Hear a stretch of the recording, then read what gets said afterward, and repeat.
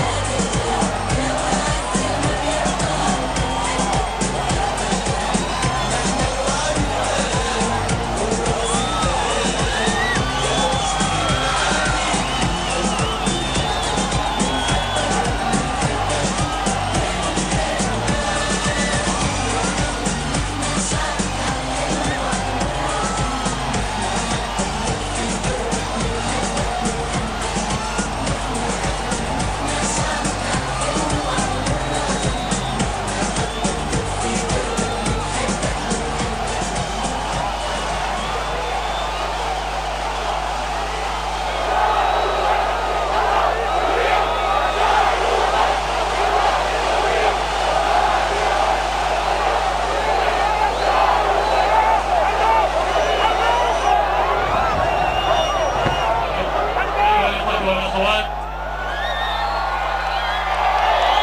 أيها الشباب أيتها الشابات.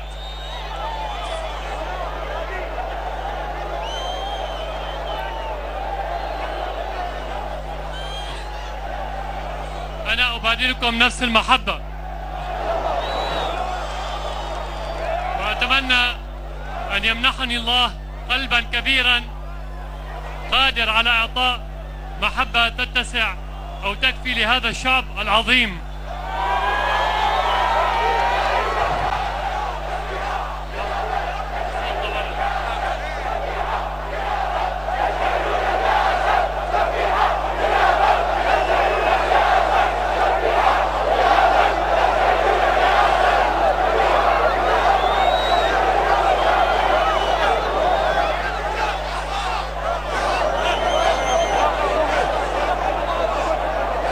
عندما علمت بأنكم قررتم النزول إلى الشوارع في عدد من الساحات في عدد من المحافظات السورية شعرت برغبة عارمة أن أكون معكم في هذا في هذا في هذا الحدث.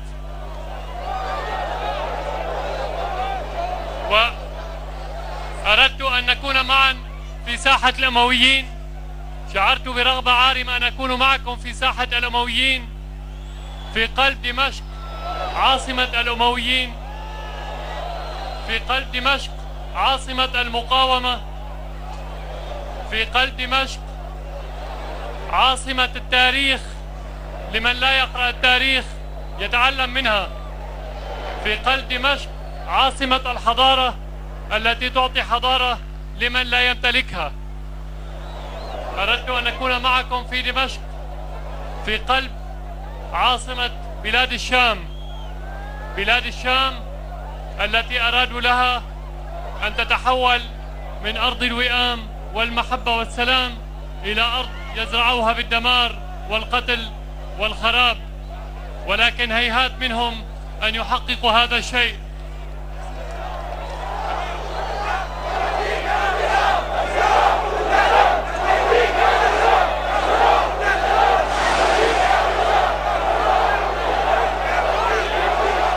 فهذه الأرض.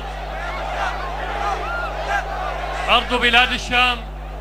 هذه الأرض المباركة التي أحبها الله وأحبها رسوله فحباها الله بهذا الشعب الطيب. وعندما قلت في يوم من الأيام أن سوريا الله حاميها فلم أكن أقصد على الإطلاق بأننا شعب الله المختار كما يفكر البعض. أو أن الله ميز سوريا عن غيرها من البلدان والشعوب. فالله يحب كل كل الشعوب في الأرض. ولكن عندما يحب الله أرض يمنحها شعبا طيبا واعيا صامدا قويا وفيا. كهذا الشعب العظيم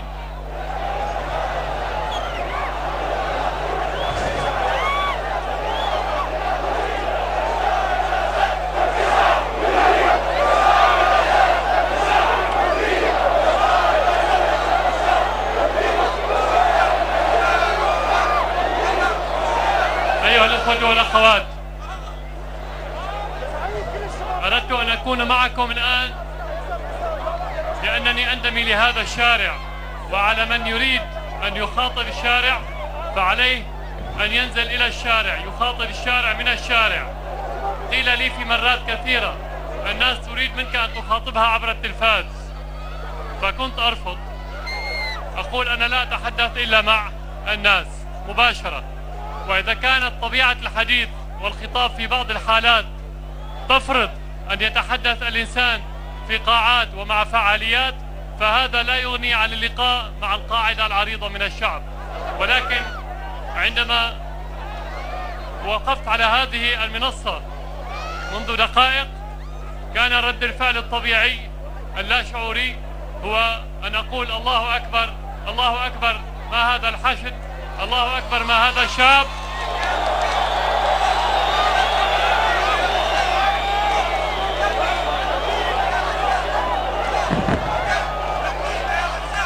أن أقول الله أكبر ما هذا العنفوان؟ ما هذه القوة؟ ما هذا الصمود؟ ما هذه الكرامة؟ كل هذه الأشياء هي التي تعطي المعنويات لأي مسؤول ولأي دولة. لا يمكن لأي دولة أن تنجح إن لم يكن هناك احتضان من الشعب. أتيت إلى هنا لكي نضع أيدينا مع بعض لننظر إلى المستقبل إلى الأمام إلى سوريا التي نحب إلى سوريا القوية سوريا الشامخة سوريا الكرامة سوريا العزة. نسير إلى الأمام.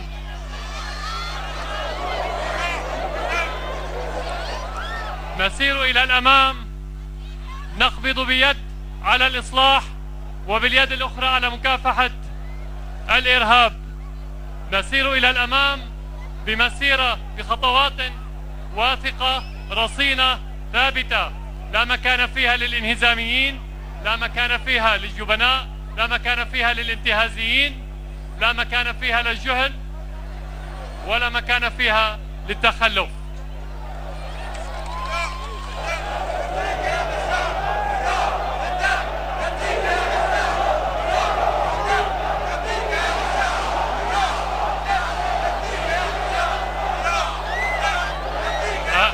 أردت أن أكون معكم اليوم لكي أستمد القوة في مواجهة كل ما تتعرض له سوريا وأنا لم أشعر بالضعف بيوم من الأيام بفضلكم من خلال قوتكم من خلال هذه البوصلة التي تدلنا دائما على الطريق الصحيح.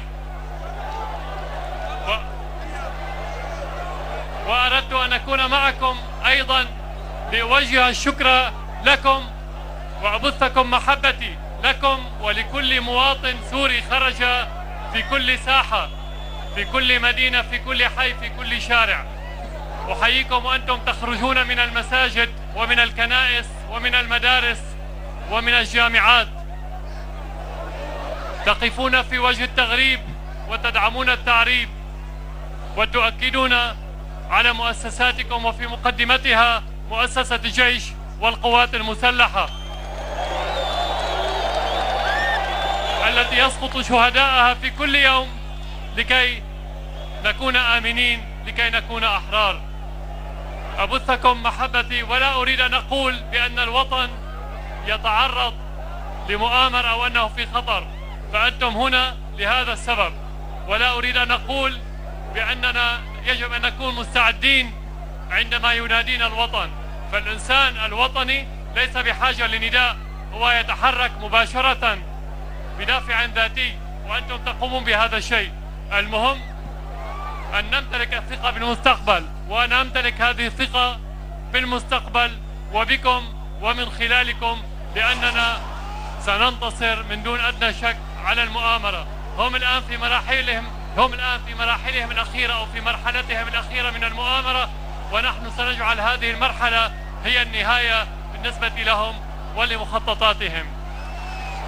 أبثكم تحياتي. أتمنى أن أصافح كل واحد في هذه الساحة وفي حلب وفي الحسكة وفي قامشلي وفي درعا وفي كل مكان من هذا الوطن الغالي.